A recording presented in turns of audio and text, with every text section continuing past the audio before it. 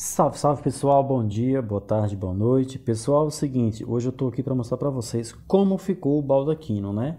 No vídeo anterior eu falei com vocês que iria já mostrar é, quando tivesse pronto já no altar, né? Esse altar também foi um altar que eu fiz, mas porém não tem um vídeo dele eu fazendo, correto?